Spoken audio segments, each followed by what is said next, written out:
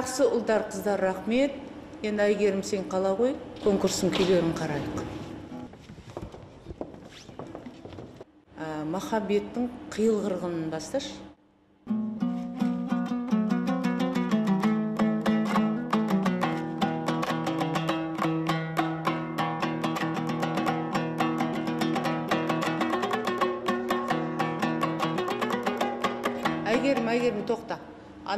Сағасын қайта түс асықпа сағасында ә, бір есіп есіп ойнайтын жері бар.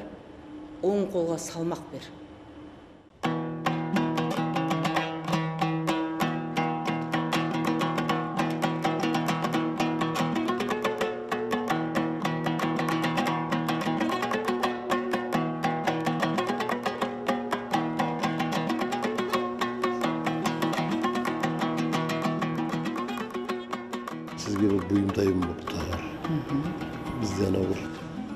Домбыраға байланысты бір композиция жасап жатыр едім да мысалға актердің ойын ары қарай домбырамен жеткізу өте жақсы оған мысалы күйдің әр күйдің өзінің тарихы бар сол тарихты біз халыққа сөзбен жеткізе алмай жатамыз тек күймен орындаймыз ол тіпті мынау идеяңыз өте жақсы екен мысалы актер сол күйдің тарихын айтып күйші соны жалғастырып күйін орындаса ол тіпті керемет болар еді. Бала жақсы екен да мектептен келді ма жоқ бұл бала ауылдан келген. Жаңағы домбыраны біздерде қолдан алады болмаса құлақтан үйренетін болады ғой. Соны бұл бала өзі құлақтан күйден күйді естіп жүріп құлақпен алған. Талантты бала. Бұл баланың ерекше тарихы бар.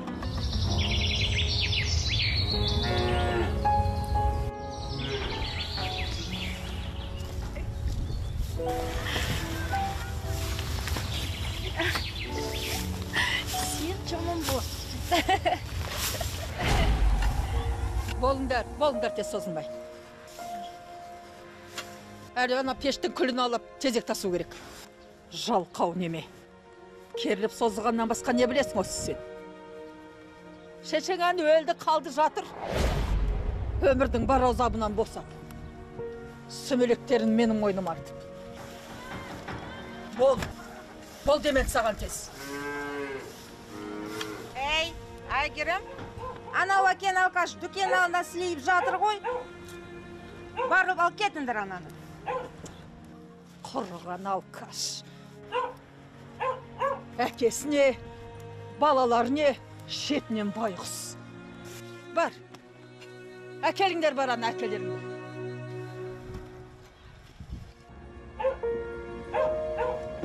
әйгерім мында ал мынау жатсыңыз не ұят болды ғой елден әке тұрыңыз тұрыңыз үйге тұрыңыз жүріңіз жүріңіз үйге болды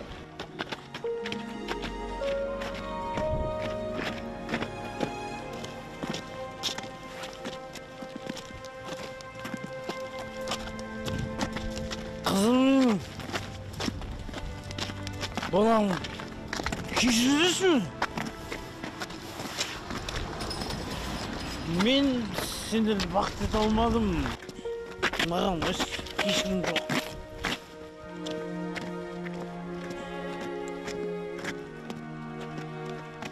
жыламаңдаршы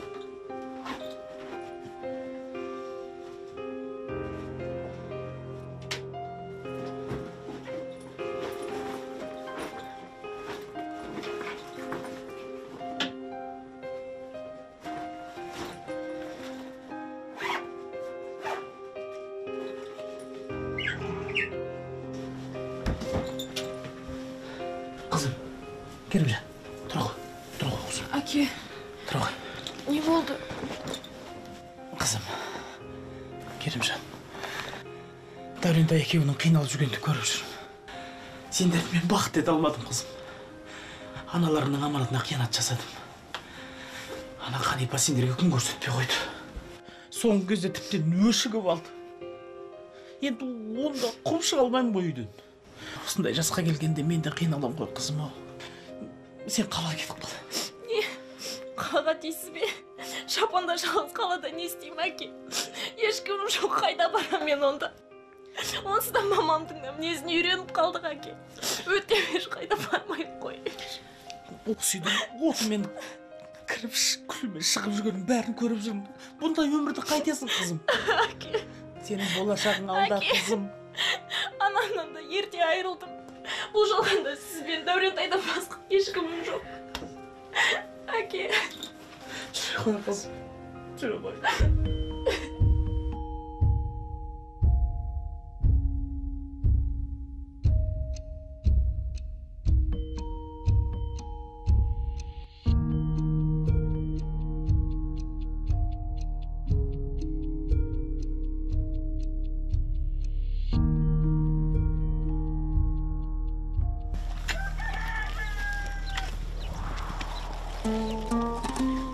керіммен басқа ешқандай шара қалмады. Оның үстіне қанипаның таяғын жеп жүресің қалаға барып сіз болашағыңды ойла оның үстіне ақ жүректі ақ көңіл қызсың ғой. Мүмкін алдыңнан жақсы адамдар жолығар. Керімжан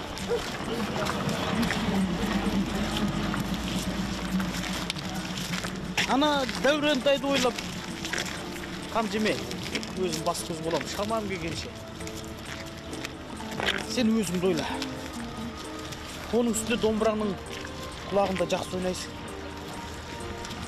болашағыңды ойла жарайды ана қанипа келіп қалғанша мен үйге барайын жарты сағаттан кейін автобус келеді. жарайды онда. Мынау жолыңа.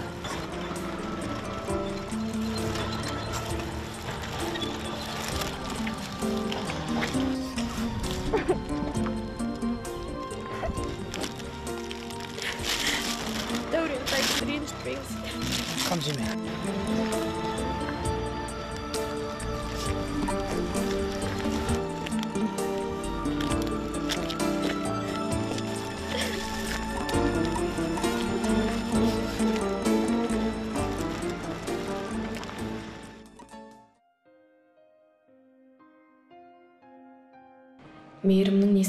кем беретіндей.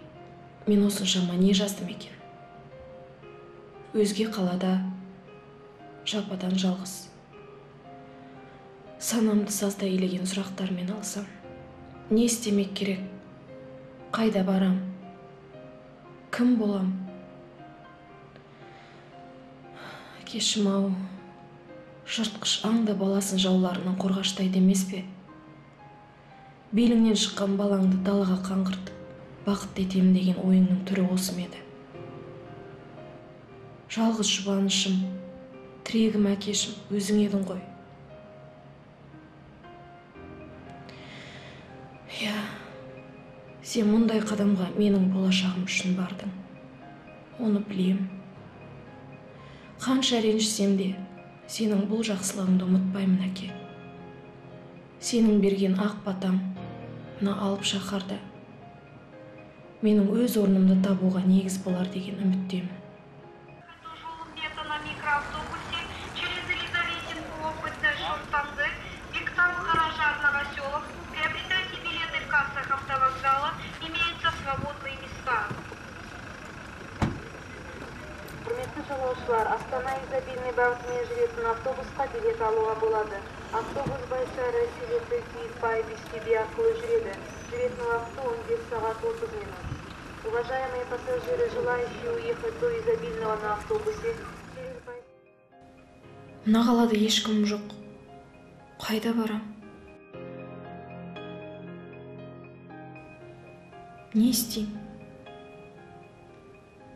Не болса да көнбеске шара жоқ. Бұл да тағдырдың бір сынағы шығар. Қайтсем де жұмыс тауып осы қала қоғамынан өз орнын табуым керек.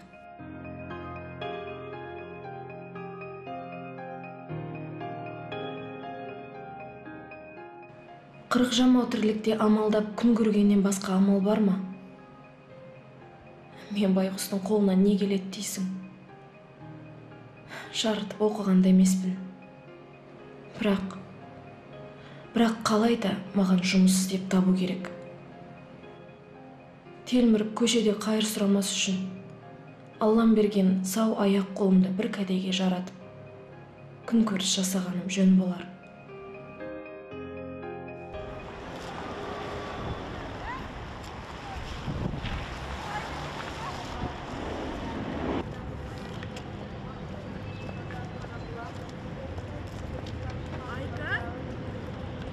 Айка?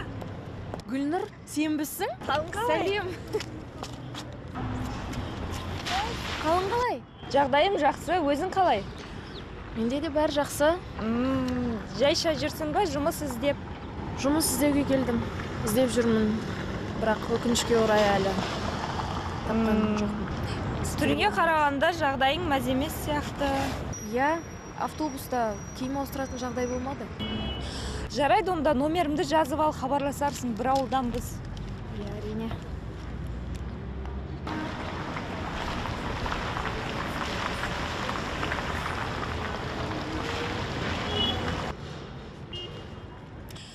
Ладно жарайды суретке түсіп алайық екеуміз бір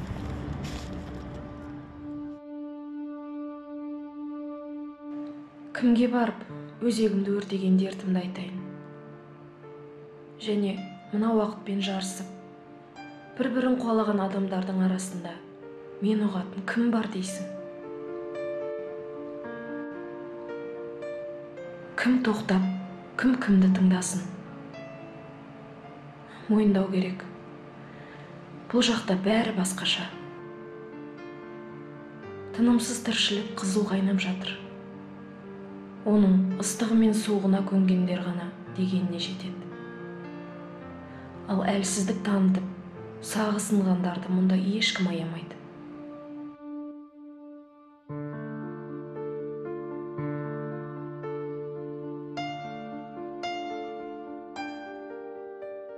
Бірақ мен берілмеймін. Қайтсем де осында жұмыс тауып өз қолым аузыма жеткенше аянбай еңбек етем. Бәрі тек өз қолымда. Себебі бұл менің өмірім.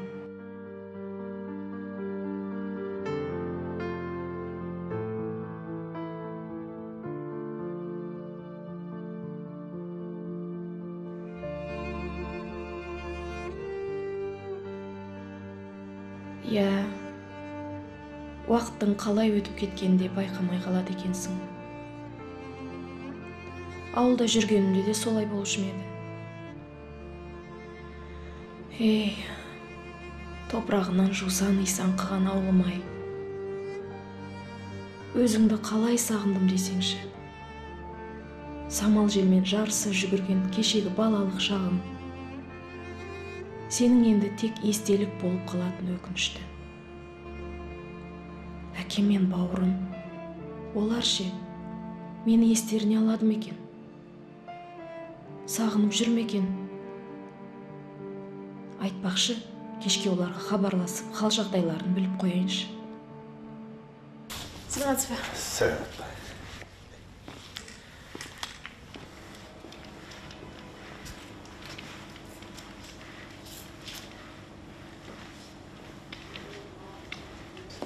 саламатсыздар ма? Тапсырыс беруге дайынсыздар ма? Дайынбыз.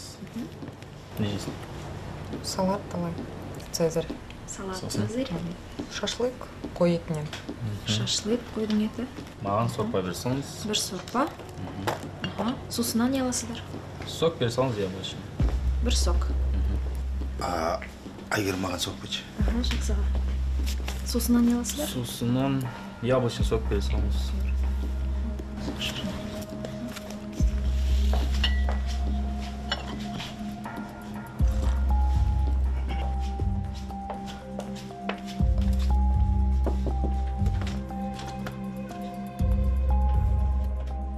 ерсін болатович шақырып едіңіз А, кел, әйгерім кір. Кел, отыр. Жайғас. Қалай, жұмысың жақсы ма? жақсы рахмет Ұнай өзіңе? ұнайды А, дұрыс, дұрыс. Мен де байқап жүрмін. Жұмысың өте жақсы. Жақынырақ отырсайшы кел.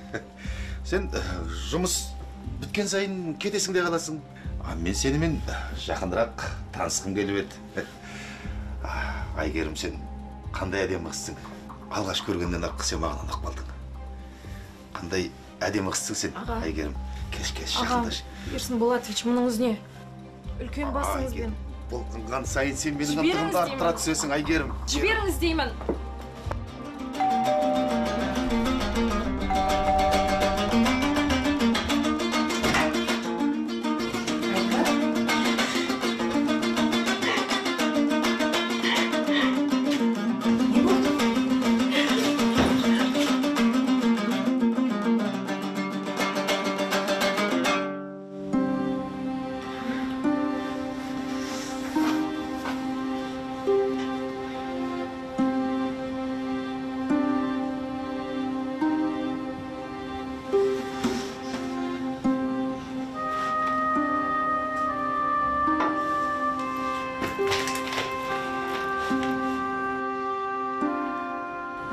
бар сияқты.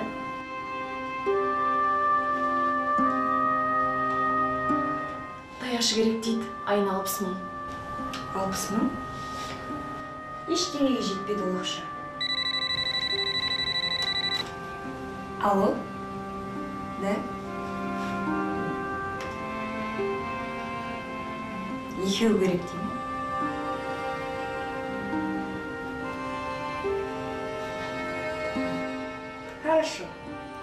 болып келеді. Де жолың болғыш қыз екенсің айка жұмыс табылды. Қандай жұмыс? Тұр дайындал. Барған соң көресің.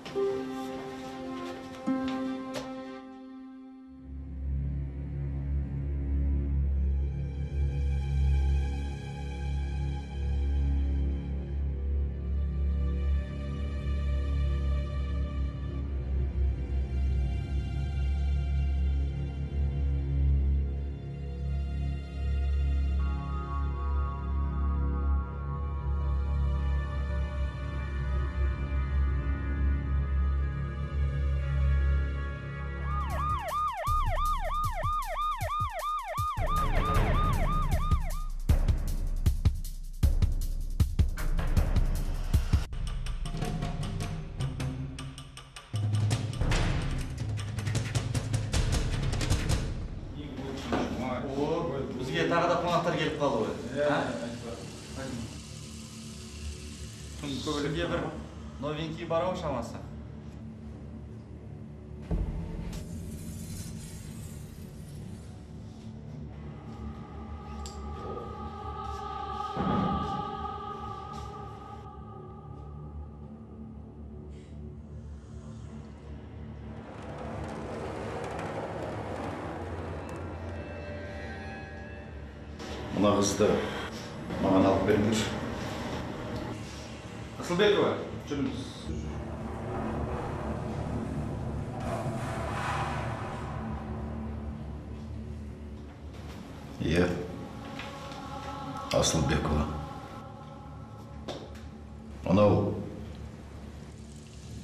қасыңда отырған қызбен біргемісің иә. Бір ауылданбыз. Астанаға келгеніме төрт ақ ай болды. Ол жерге алғаш барған қайда келгенімді кеш түсіндім. Гүлнұр жұмыс тауып берем деген соң барып едім. Аға өтінемін мені соттатпаңызшы. Болды болды. Жарайды. Жылама мен су іш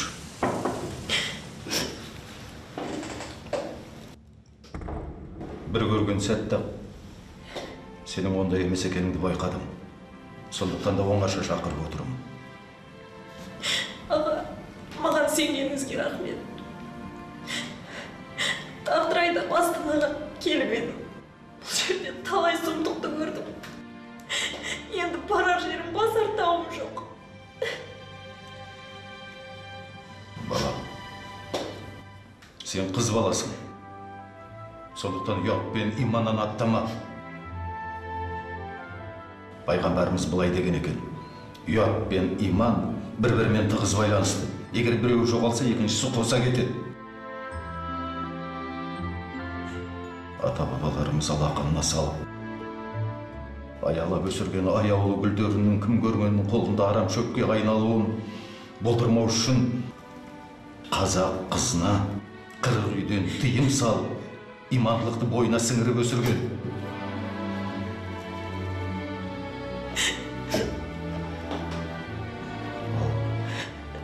Үлкен қалада жападан жалғыз жүрген қазақтың қара көздеріне тыйым салатын еш жан ешбір күш жоқ.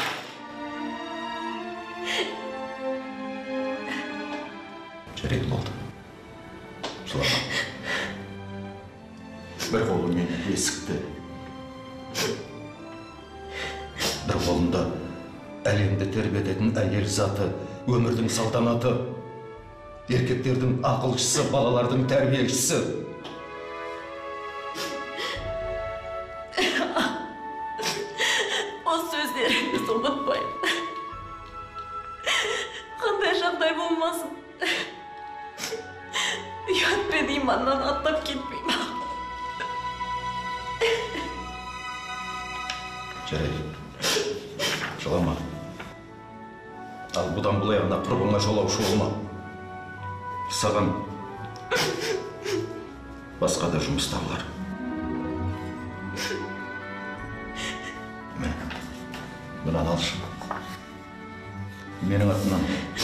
Хабарласарсың мүмкін көмегі тиер.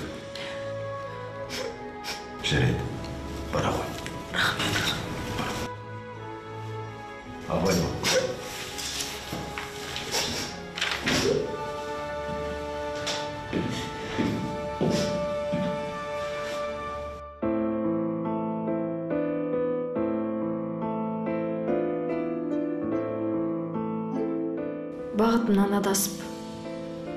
Құрдымға кете бастағанда мына кісінің ақылы маған жөн сілтеп жіберді. Бұл кісі болмағанда мен теріс жолға түсіп кетер ме едім? Кім білсін? Бұл өмірде де жақсы адамдар бар екен ау.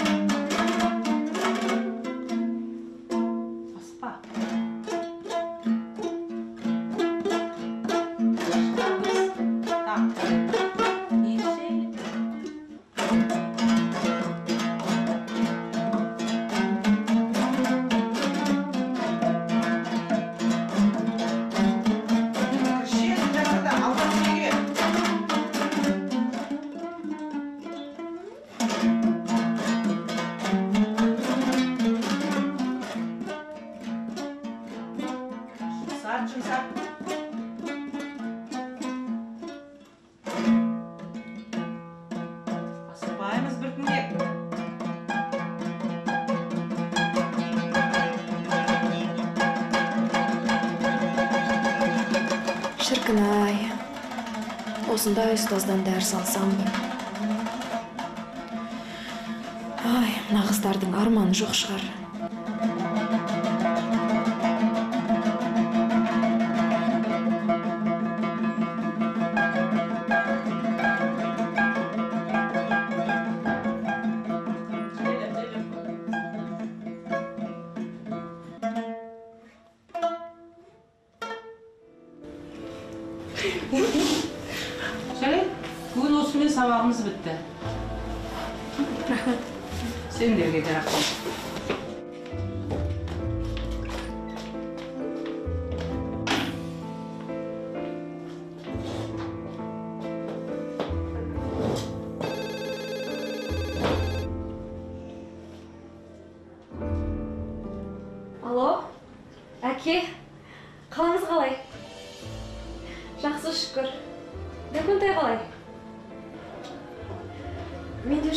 Жақсы. Иә жұмысқа орналастым. Иә тамағымды да жеп жүрмін уайымдамаңыз әке менде бәрі жақсы. Ал домбыра дейсіз ба? Мен жалғыз емеспін домбырамыз екеуміз. Маған серік болды. Анда санда шертіп тұрамын иә. Өздеріңізде қалай бәрі жақсы ма? Денсаулығыңыз қалай? Жарайды онда бәріне сәлем айтыңыз. Жақсы сау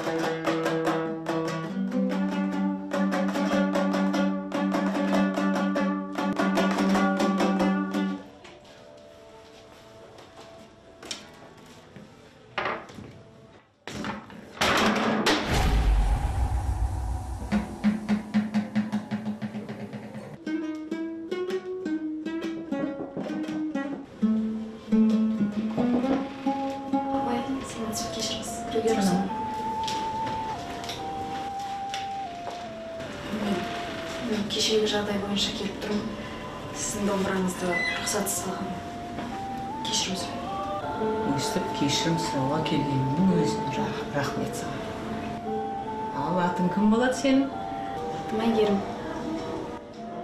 әйгерім кімнен үйрендің домбыра тартуды мен бала кезімнен тартамын аздап әкем де үйретті өзімнің үйде ескі домбырам бар.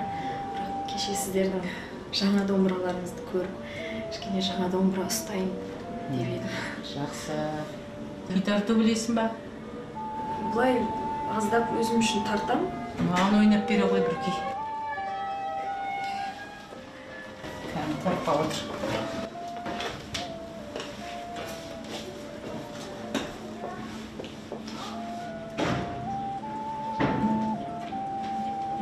Не орындайсың?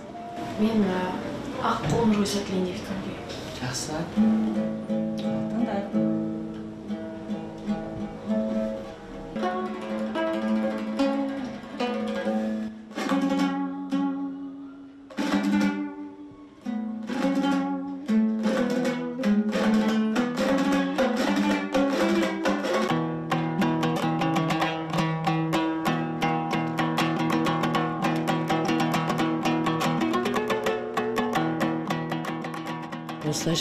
Осы әйгеріммен таныстым. Талантына еңбегіне өте риза болдым. Алғаш тыңдағанда болашағы бар күйші болатынына сендім.